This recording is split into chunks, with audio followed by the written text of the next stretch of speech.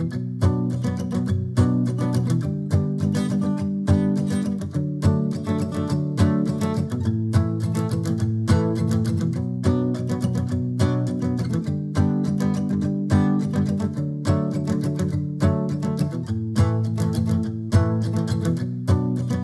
can contort your face when I tell you I'm Republican and I don't trust the government. I enforces your hate when I tell you that I'm skeptical about giving girls testicles. I never used to be this way. Yeah, I was liberal and progressive when I was fickle, adolescent, tummy pickles. Now I'm restless when I see how deep the effect is on the people who consume the propaganda.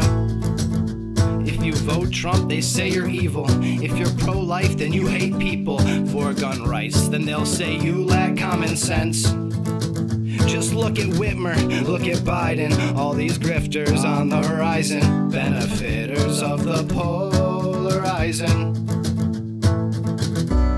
So you can contort your face when I tell you I'm Republican and I don't trust the government and Know it enforces your hate. When I tell you that I'm skeptical about giving girls testicles, it never used to be this way.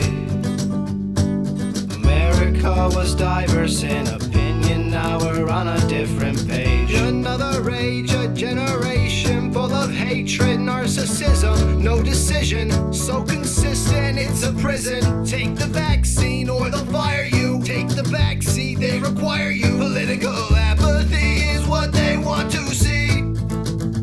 If you speak up, they don't like that. Can't you see? It's time to fight back and utilize our freedom of speech. So you can contort your face when I tell you I'm Republican and I don't trust the government and Know it enforces your hate. When I tell you that I'm skeptical about giving girls testicles.